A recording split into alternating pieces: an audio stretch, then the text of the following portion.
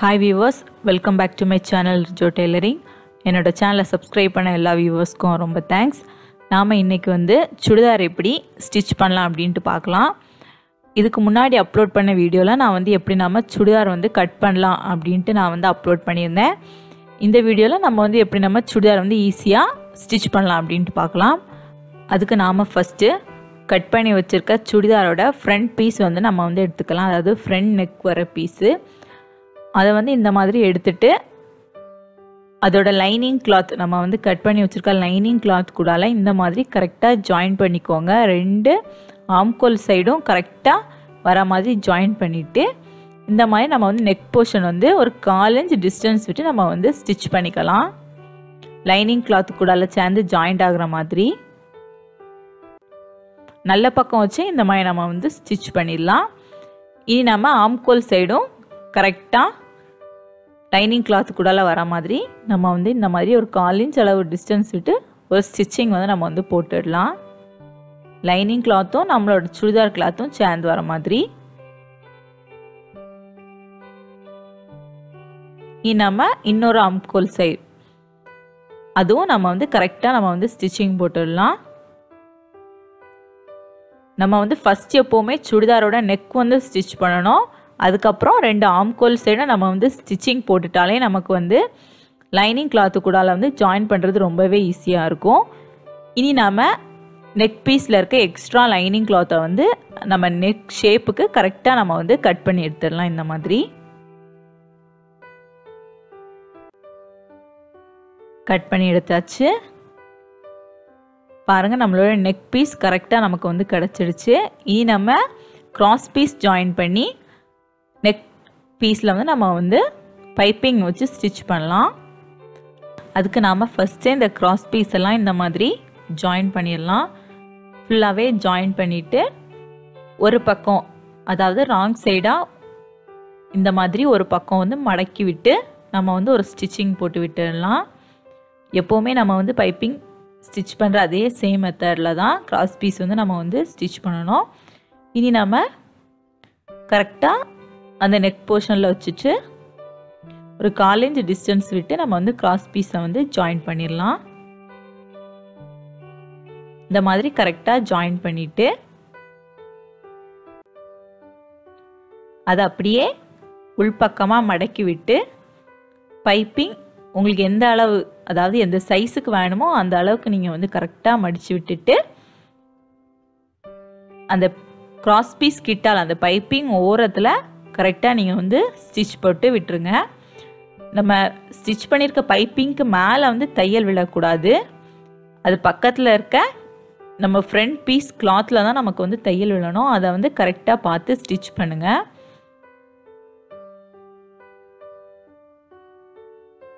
பாருங்கள் இந்த மாதிரி நம்ம வந்து நெக் பீஸ் வந்து கரெக்டாக நம்ம வந்து ஸ்டிச் பண்ணி முடிச்சிடலாம். இனி நாம் சுடிதாரோட சைடு ஓரத்துலலாம் ஃபுல்லாகவே நம்ம வந்து ஸ்டிச் பண்ணிடலாம். அதுக்கு முன்னாடி நம்ம உள்ளாடி இருக்க லைனிங் கிளாத்தோட கீழ்ப்பக்கம் வந்து இந்த மாதிரி ஒரு கால் இன்ச் அளவுக்கு ரெண்டு மடிப்பு மடிச்சுட்டு ஒரு ஸ்டிச்சிங் போட்டு விட்டுருங்க. இந்த மாதிரி ஸ்டிச்சிங் போட்ட அப்புறம் தான் நம்ம வந்து சுடிதார் கூடால நம்ம வந்து கரெக்டாக ஜாயின் பண்ணணும். அப்போ தான் நம்ம வந்து ஸ்டிச் பண்ணி முடிக்கும்போது ஃபினிஷிங் அழகாக இருக்கும் இனி நம்ம கரெக்டாக சைடு பக்கம் அதுக்கப்புறம் ஓப்பன் ஸ்டிச் பண்ணுற பக்கம் எல்லா இடத்துலையுமே நம்ம இந்த மாதிரி லைனிங் கிளாத்து கூடால சேர்த்து ஒரு ஸ்டிச்சிங் போட்டுடலாம் சுடிதார் கிளாத்தையும் ஒரு பக்கம் வந்து நம்ம வந்து ஸ்டிச்சிங் போட்டாச்சு இனி நம்ம இன்னொரு பக்கமும் அதே மாதிரி லைனிங் கிளாத்து கூடால கரெக்டாக ஜாயிண்ட் ஆகி வர்ற மாதிரி நம்ம வந்து ஸ்டிச்சிங் போட்டுடலாம். கரெக்டாக சுருக்கம் எதுவும் இல்லாமல் கரெக்டாக இந்த மாதிரி பிடிச்சி வச்சு கரெக்டாக நீங்கள் வந்து ஸ்டிச்சிங் போடுங்க. லைனிங் கிளாத்லேயோ நம்ம ஃப்ரண்ட் கிளாத்லேயோ எப்போவுமே சுருக்கம் இல்லாமல் ரெண்டு கிளாத்தும் கரெக்டாக வர மாதிரி நம்ம வந்து ஸ்டிச்சிங் போடணும். நம்ம லைனிங் ப்ளவுஸுக்கு எப்படி கரெக்டாக நம்ம வந்து ஸ்டிச்சிங் பண்ணுறோமோ அதே மாதிரி தான் சுடிதாருக்கும் எந்த ஒரு சுருக்கமும் இல்லாமல் கரெக்டாக நம்ம வந்து ஃபுல்லாகவே நம்ம வந்து ஒரு ஸ்டிச்சிங் போடணும் சைடு ஓரத்தில். இனி நம்ம ஃப்ரண்ட் பீஸ் ஸ்டிச் பண்ண அதே மாதிரி தான் பேக் பீஸும் நம்ம வந்து ஸ்டிச் பண்ண போகிறோம் ஃபஸ்ட்டு வந்து லைனிங் கிளாத்தையும் நம்ம சுடிதார் கிளாத்தையும் இந்த மாதிரி கரெக்டாக அட்டாச் பண்ணி வச்சுக்கலாம். கரெக்டாக வச்சுட்டு நெக் சைடு வந்து நம்ம ஃபஸ்ட்டு ஸ்டிச் பண்ண மாதிரி ஒரு கால் இன்ச் டிஸ்டன்ஸ் விட்டு நம்ம வந்து நெக் பீஸை வந்து கரெக்டாக நம்ம வந்து ஸ்டிச் பண்ணி வச்சுக்கலாம். ஸ்டிச் பண்ணியாச்சு பாருங்கள் இனி நம்ம ரெண்டு ஆம்கோல் சைடும் லைனிங் கிளாத்து கூடால கரெக்டாக வர மாதிரி இந்த மாதிரி நம்ம வந்து ஒரு கால் டிஸ்டன்ஸ் விட்டு ஒரு ஸ்டிச்சிங் போட்டுடலாம். ரெண்டு சுடிதார் கிளாத்துமே ஒரே மாதிரி தான் இந்த மாதிரி தான் நம்ம வந்து லைனிங் கிளாத்து கூடால அட்டாச் பண்ணணும். ஆனால் எந்த ஒரு சுருக்கமும் இல்லாமல் கரெக்டாக ஜாயிண்ட் ஆகிற மாதிரி இந்த மாதிரி கரெக்டாக ஸ்டிச் பண்ணுங்கள் லைனிங் கிளாத்தும் நம்ம சுடிதார் கிளாத்தும் கரெக்டாக ஜாயிண்ட் ஆகிற மாதிரி இருக்கணும். இனி நம்ம ஷோல்டரும் கரெக்டாக ஜாயின் பண்ணி விட்டுடலாம். ஜாயின் பண்ணியாச்சு. இனி நாம் நெக் பீஸில் இருக்க எக்ஸ்ட்ரா கிளாத்தை அதாவது லைனிங் கிளாத்தை இந்த மாதிரி நம்ம நெக் அளவுக்கு கரெக்டாக கட் பண்ணி எடுத்துருங்க. கட் பண்ணி எடுத்தாச்சு. இனி நாம் நெக் பீஸுக்கு வந்து பைப்பிங் வந்து நம்ம வந்து ஸ்டிச் பண்ணலாம். நம்ம ஃபஸ்ட்டு ஃப்ரண்ட் பீஸுக்கு ஸ்டிச் பண்ண அதே சேம் மெத்தட் தான். க்ராஸ் பீஸ் வந்து நம்ம வந்து இந்த மாதிரி ஸ்டிச் பண்ணி எடுத்துட்டு கரெக்டாக நம்ம வந்து நெக்கோட அளவில் வச்சுட்டு ஒரு கால் இன்ச் டிஸ்டன்ஸ் விட்டு லைனிங் கிளாத்தை நம்ம இந்த மாதிரி கரெக்டாக ஜாயின் பண்ணி ஸ்டிச்சிங் போட்டுடலாம். பாருங்கள் நெக்கோட பொசிஷனுக்கு கரெக்டாக நம்ம வந்து ஸ்டிச் பண்ணியாச்சு. நீ நம்ம கரெக்டாக க்ராஸ் பீஸை உள்பக்கமாக மடித்து விட்டுட்டு எந்த அளவுக்கு நமக்கு வந்து பைப்பிங் வேணுமோ அந்த அளவுக்கு நம்ம வந்து கரெக்டாக அதை மடக்கிட்டு வெளிப்பக்கமாக ஒரு ஸ்டிச்சிங் போட்டு விட்டுடலாம். ஆனால் நம்ம ஸ்டிச் பண்ணக்கூடிய தையல் வந்து கிராஸ் பீஸ்க்கு மேலே படாத மாதிரி கரெக்டாக நம்ம வந்து ஸ்டிச்சிங் போடணும். பாருங்கள் நம்ம வந்து நெக் போர்ஷன் வந்து கரெக்டாக ஸ்டிச் பண்ணியாச்சு. சுடிதாரோட பேக் நெக்கு இனி நம்ம ஃப்ரண்ட் பீஸ் ஸ்டிச் பண்ண அதே மெத்தடில் பேக் பீஸும் நம்ம வந்து ஸ்டிச் பண்ணிடலாம். உள்பக்கமாக இருக்க லைனிங் கிளாத்தையும் பின்பக்க பீஸையும் சேர்த்து நம்ம வந்து ஃபுல்லாகவே ஸ்டிச்சிங் பண்ணி முடிச்சிடலாம். இனி நம்ம ஹேண்ட் ஸ்லீவ் வந்து ஜாயின் பண்ணலாம் பாருங்கள் அதுக்கு வந்து நான் வந்து ஃபஸ்ட்டே உங்களுக்கு கட் பண்ணும்போது எக்ஸ்ட்ரா பீஸ் வந்து நமக்கு வந்து ஜாயின் பண்ணணும் அப்படின்ட்டு சொல்லியிருந்தேன். ஸ்லீவ் கூடால. அதுக்கு வந்து நம்ம வந்து இந்த மாதிரி தனியாக கிளாத் வந்து கட் பண்ணி எடுத்துக்கலாம். எடுத்துச்சு. கரெக்டாக மேல் பக்கம் வந்து இந்த மாதிரி ஜாயிண்ட் ஆகிற மாதிரி நம்ம வந்து எக்ஸ்ட்ரா கிளாத்தை வச்சு ஒரு ஸ்டிச்சிங் போட்டுடலாம் காலிஞ்ச அளவுக்கு. இந்த மாதிரி நீளமாக நீங்கள் வந்து கிளாத் எடுத்துக்கோங்க. இனி நம்ம அதோட மேல் பக்கம் இந்த மாதிரி ஒரு படிமான தையலும் போட்டு விட்டுடலாம். கரெக்டாக இதே மாதிரி ரெண்டு சைடும் நம்ம வந்து ஜாயின் பண்ணணும். எப்போவுமே நம்ம வந்து எக்ஸ்ட்ரா கிளாத் வந்து ஜாயின் பண்ணும்போது மேல் பக்கம் நம்ம வந்து கைக்குழி பக்கம் ஜாயின் பண்ணுற பக்கம் வந்து கிளாத் வந்து கரெக்டாக ஜாயிண்ட் ஆகிற மாதிரி இருக்கணும். கீழ்ப்பக்கம் நமக்கு கைப்பக்கம் வந்து நமக்கு வந்து துணி வந்து கொஞ்சம் சின்னதாக இருந்தால் கூட பரவாயில்ல இந்த மாதிரி. மேல் பக்கம் தான் நமக்கு வந்து கரெக்டாக வரணும். இந்த பக்கமும் கரெக்டாக நம்ம ஸ்டிச் பண்ணிவிட்டு அதுக்கு மேலே இந்த மாதிரி ஒரு படிமான தையல் நம்ம வந்து போட்டு விட்டுடலாம் பாருங்கள் இந்த மாதிரி நம்ம வந்து ஸ்டிச் பண்ணிக்கலாம். இதே மாதிரி இன்னொரு ஸ்லீவும் நம்ம வந்து இந்த மாதிரி ஸ்டிச் பண்ணி எடுத்துக்கலாம். இனி கரெக்டாக நம்ம வந்து அளவு எடுத்துக்கலாம் பாருங்கள் பதினாலரை இன்ச்சு நான் வந்து எடுத்திருக்கேன். த்ரீ பை ஃபோர் ஸ்லீவோட ஹைட் வந்து நான் வந்து பதினாலரை இன்ச் எடுத்திருக்கேன். அப்போ அதோட ஆப்போசிட் சைடு வந்து பதினொன்றரை இன்ச் வரும். கரெக்டாக மார்க் பண்ணிக்கோங்க. மார்க் பண்ணிவிட்டு நம்ம வந்து ஸ்லீவ் பேட்டர்னை வந்து கரெக்டாக நம்ம வந்து வரைஞ்சி விட்டுடலாம். ஸ்லீவ் பேட்டர்ன் வந்து ட்ரா பண்ணியாச்சு.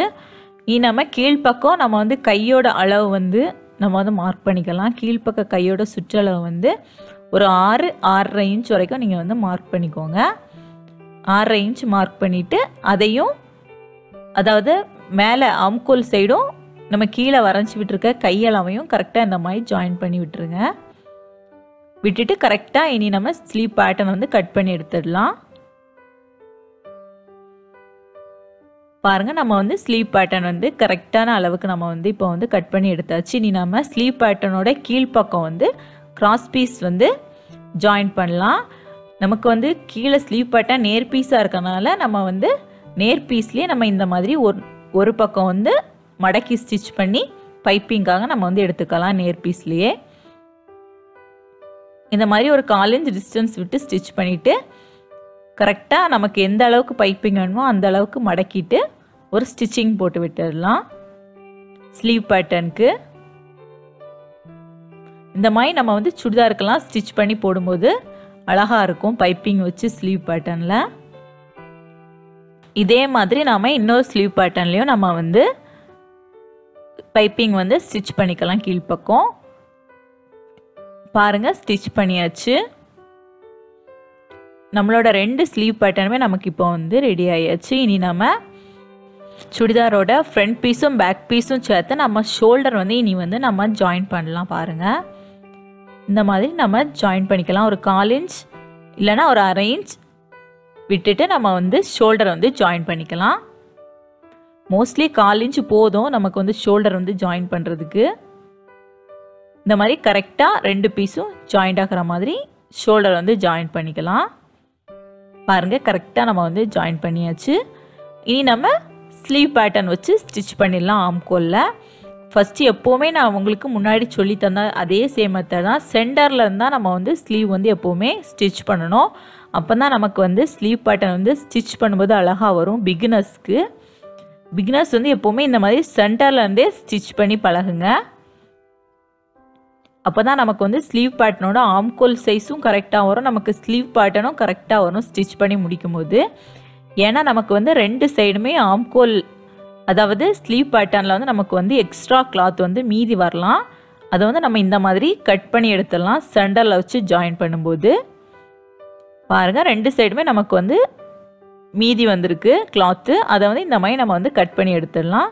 பாருங்கள் ஸ்லீவ் பேட்டர்ன் வந்து கரெக்டாக நம்ம இப்போ வந்து அட்டாச் பண்ணிட்டோம். பர்ஃபெக்டாக இதே மாதிரி இன்னொரு பக்கமும் நம்ம ஸ்லீவ் பேட்டர்ன் வந்து ஜாயின் பண்ணிடலாம். ஜாயின் பண்ணிவிட்டு இந்த மாதிரி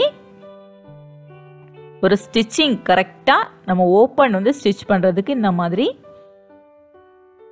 ஸ்டிச் பண்ணிடுங்க ஓப்பன் வந்து நம்ம எவ்வளோ இன்ச் விடுறோம் அப்படின்னா ஒரு இன்ச் வந்து நம்ம வந்து எக்ஸ்ட்ரா வந்து மார்க் பண்ணிடணும். அந்த அளவு கரெக்டாக வர மாதிரி நம்ம வந்து மார்க் பண்ணிக்கலாம். அதே மாதிரி அதோட ஆப்போசிட் சைடும் நம்ம வந்து ஸ்டிச்சிங் போட்டுடலாம் பாருங்கள்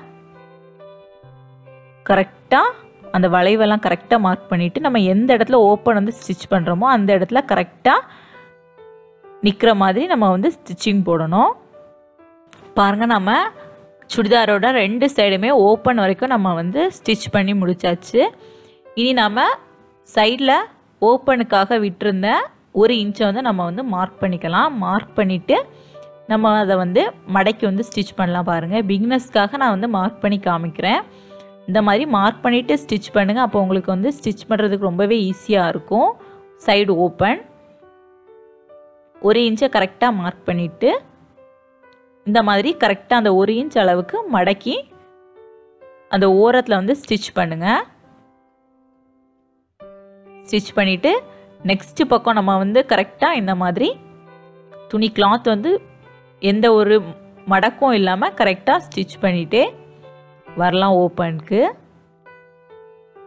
பிகினஸாக இருந்தீங்க அப்படின்னா நீங்கள் வந்து ஃபஸ்ட்டு வந்து காட்டன் சுடிதார் கிளாத்தில் வந்து ட்ரை பண்ணுங்கள் அப்போ தான் உங்களுக்கு வந்து ஸ்டிச் பண்ணுறதுக்கு ரொம்பவே ஈஸியாக இருக்கும்.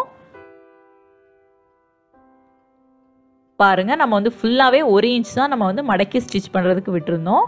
அந்த ஒரு இன்ச் அளவை கரெக்டாக ஃபுல்லாகவே நீங்கள் வந்து மார்க் பண்ணிவிட்டு ஸ்டிச் பண்ணிடலாம். ஓப்பன் ஓப்பன் வந்து ஸ்டிச் பண்ணுறது ரொம்பவே ஈஸி பாருங்கள் கரெக்டாக அந்த ஓப்பன் மேல் பக்கம் வரும்போது எந்த ஒரு சுருக்கமும் இல்லாமல் கிளாத்தை வந்து இந்த மாதிரி டைட்டாக பிடிச்சி வச்சுட்டு நம்ம வந்து ஸ்டிச்சிங் போட்டுட்டா போதும். ஓப்பன் வந்து நமக்கு வந்து பெர்ஃபெக்டாக அழகாக வரும் ஸ்டிச் பண்ணும்போது.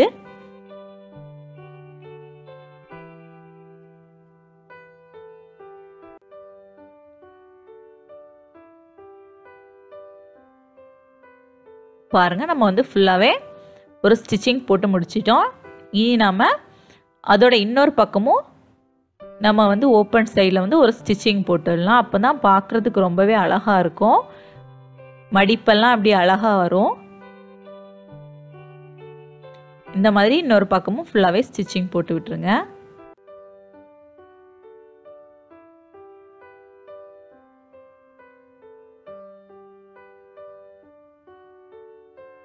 பாருங்கள் ஓப்பன் ஃபுல்லாகவே நம்ம வந்து ஸ்டிச்சிங் போட்டு முடிச்சாச்சு. சைடு ஓப்பன் கரெக்டாக நம்ம வந்து ஸ்டிச் பண்ணிட்டோம் பாருங்கள்